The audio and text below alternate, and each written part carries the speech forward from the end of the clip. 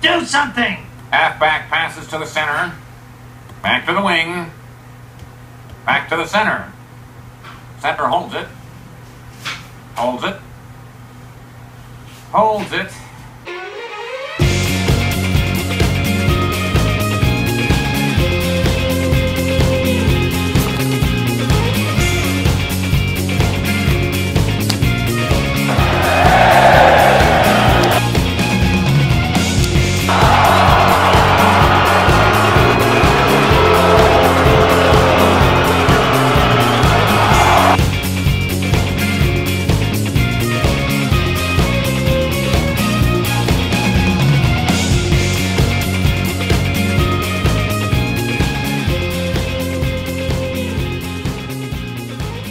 Ja, ok. Eh, Fullt så dramatisk er ikke spillet her. Velkommen til Brettspill med takras. Eh, Dette er en videoserie hvor jeg for meg brettspill og kortspill og forteller deg hva de handler om, og ikke minst hva jeg syns om de. Denne gangen så er det da uten tvil et uh, spill som handler om uh, engasjement. Du så jo det i introen. Det har uh, mye du kan gjøre for å påvirke situasjonen, og det, det føles på en måte veldig bra eller veldig som et nederlag.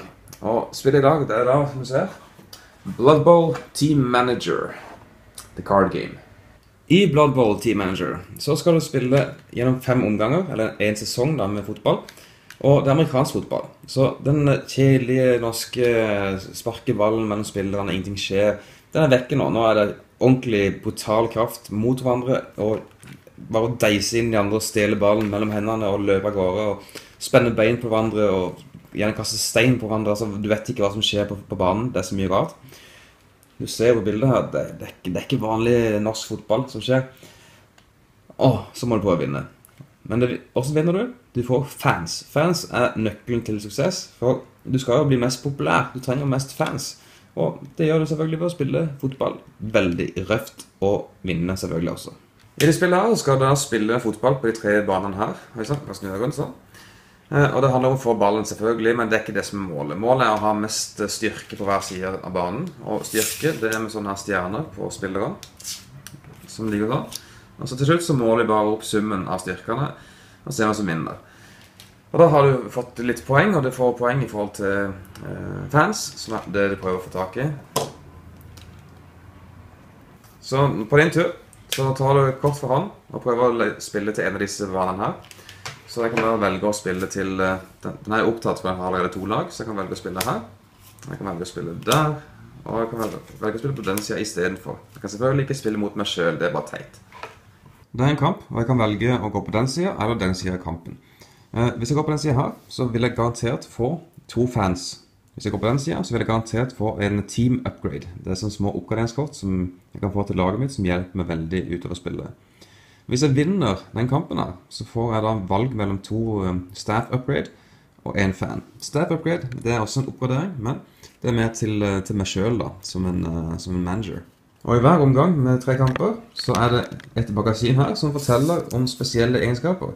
Denne uka her, hver gang en spiller med minst én sånn sprint eh, blir eh, takla, så øker du stjernestyrken til han med én. Så det er vanskelig å takle de som har den egenskapen med ball. Altså den der. Dette er nå en treer, egentlig. Og sånne ting dukker opp underveis, og du ser det er veldig mange ting som kan skje. Noen av disse her er da turneringer, som da er en, enda en kamp som alle kan gå til. Her kan alle som vil delta, og det er faktisk vinner, andreplass og alle taperen. Så her kan alle komme ut med noe. Men se, det er masse eh, slags turneringer, og det er mange avishendelser. Og det du vil ha aller mest, det er jo fans. Hva er vel eh, fotballag uten fans? De trenger penger, de trenger støtte, support. Ja, støtte, support. De trenger moralsk støtte, og de trenger pengestøtte fra fansen sin. Fans skaffer du ved å vinne kamper, selvfølgelig, men også ved å skitne triks. Noen eh, juksefanterier gir fans fordi fansen ser at de jukser, dommeren så det ikke, og alle jubler og er kjempeglade. Fans får du ved å oppgradere laget ditt med de kortene her. Eh, Dette er ser vi symbolet der. De gir deg da muligheten til å endre på, på utfall, og til og med gi fans uh, hvis du har klart å gjøre sånn og sånn og sånn. Og det samme med de kortene her, som alle kan få. Det er mange måter å få fans på, og det er mange måter å ødelegge for andre på, og det er mange måter å ødelegge for deg sjøl på også, hvis du er virkelig uheldig. Så i starten av enhver runde, eller hver omgang, så har jeg seks kort å velge mellom. Og jeg kan da velge ett av de kortene her og spille på av de, en av de kampene som er ute på, på brettet. Så jeg kan da f.eks. spille Skaven Blitzer. Og Her ser vi at min motstander, dvergene, har da allerede begynt å spille på den kampen her. For det var ikke min tur først. Nå spiller jeg et kort der. Skaven Blitzer. Og da ser du her egenskapene. Det er juksing, og det er takling, og det er sånn sprint som gjør at jeg kan gå gjennom kortpunkene mine og få tak i bedre spillere, forhåpentligvis. Men vi begynner med egenskapen nummer én juks. Da tar jeg en brikke fra juksebunka. Sånn. Og legger der. Jeg har ikke lov til å se på det juksemarkøren her for slutten av, av omgangen når alle kamper skal avgjøres. Så det her kan være enten enda mer stjerner, det kan være flere fans, eller det kan være det verste av alt, som er utvisning. Da vil den spilleren her miste, blitt kasta vekk fra kampen før vi teller, teller poeng. Ok, juks først, så takling. Da sammenligner vi en ting til. Stjernekraften på den spilleren vi takler, har vi takler han, for det er den eneste som er i motstanderlaget. Jeg har tre mot to, er sterkere. Da triller jeg to terninger. Så velger jeg en av de. Så da velger jeg selvfølgelig den her, som er stjerne, takling. X. Da er jeg såpass dårlig at jeg snubler i mine egne føtter, så derfor kan jeg velge hvilken terning jeg vil bruke. Jeg velger den. Men hvis jeg får sånn, så takler jeg meg sjøl, uansett hva. Men det gikk fint. Jeg takler han, så de ligger vanligvis sånn. Da snur vi han. Og da er det plutselig en svakere stjerne som går mot min sterkere stjerne. Så han jeg takler nå, han, eh, han, er svakere, rett og slett. Men det er én mot tre akkurat nå. Kanskje det er expel, altså utvisning. I tillegg så har jeg en pil, så da kan jeg så da har fem kort igjen. ikke sant? Så trekker jeg ett nytt kort. Oi, den var litt bedre enn den ene der. Så kaster jeg vekk den ene. Masse flotte egenskaper å ha. Spillet går sånn. Det er Spill en spiller på et av de ene kampene som er, og så håper du at de andre spillerne, eller managerne, ikke vinner over det, eller gjør noe dumt som du ikke kan vinne over, eller noe sånt. Altså, det er alltid sånn håp og tro og gamble. For det, det, de ikke vet, det er jo hvilke kort du har på hånd. Du har jo tolv kort til å begynne med, og seks av de på hånd. De vet ikke hva du har, de vet ikke hva du planlegger, og de vet ikke hva du fokuserer på. Så det, det er mye sånn her eh, usikkerhet i spillet, og det er jo en del av det som er det gøye med spillet òg. Det er veldig vanskelig å forutsi hva som kommer til å skje. Det er veldig uforutsigbart, også med tanke på terningene og taklingene. Plutselig får du to x-er, og så er, det, så er det gjort. Det, spillet kan ta mellom 90 til 120 minutter, litt sånn avhengig av hvem du spiller med, og ja, hvor dypt du velger å gå. For det, det er ikke et dypt spill. Det er masse masse tilfeldigheter her. Det er det. Og de terningene de bestemmer jo utfallet på en kamp. Og det, sånn er det i fotball også. Du vet ikke hva som skjer. Selv om du har inn en stjerneskuespiller, stjerneskuespiller stjernespiller, så vet du ikke at han kommer til å gjøre det bra.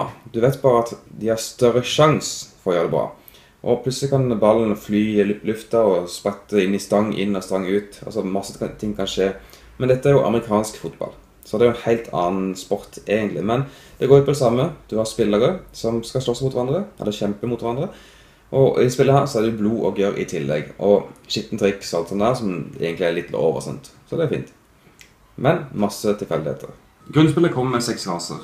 Eh, eller seks lag. Du har Skaven, Dwarves, Humans, uh, Orcs, Elves eller noe. Jeg er ikke helt sikker på alle sammen. Og det er en ting som på en måte er litt problem for meg at hver gang jeg presenterer at for nye spillere, så sier de 'Å, oh, BloodBall, det er kult'. Ok, jeg har ikke spilt BloodBall, dessverre, så jeg har ikke kjennskap til, til alle lagene og navnene bak det her. Men heldigvis så krever spillet ingen sånn forhåndskunnskaper om Blood Ball-universet. Det er bare å orke og alvor. Altså fantasy. Trenger ikke mer enn det. Og så spiller du. Og De seks lagene som kommer med, de er veldig veldig forskjellige. Du har dvergene, som er veldig sterke, altså sterke spillere, men de har veldig lite egenskap. Så du får ikke sjanse til å fornye eller gå gjennom bunka di mens du spiller. Du må bare ha de seks kortene du har i begynnelsen, og det er det du har. Alvene, derimot, de lar det hele tida løpe gjennom kortbunken din og få tak i nye spillere. Men det skal være litt mer sånn gjennomsnittlig og ha litt mer takling og sprinting. Og Skaven har masse juksing og takling. og ja, det er et veldig veldig variert lag, og ikke minst så har hver spiller også unik tekst på kortene, med egenskaper som er gjerne litt unike. da, men Det er ikke noe ikon for det iallfall. Det, de sier gjerne at uh, hvis denne spilleren blir takla, så, så, slipper du å miste ballen. Eller ja, sånne ting. Det er veldig mange varierte egenskaper, og lagene spiller vidt forskjellig. Og de er ikke balansert en plass. Du må spille balansert sjøl, på en måte, med hvor du legger hvilke spillere, og terningkast. Det, ellers så er det veldig mye flaks. Men det er liksom det som er en del av temaet her. Det er brutal eh, kraft som møter brutal kraft, og så er det å se hva som skjer når du hiver to harde ting mot hverandre. Artig.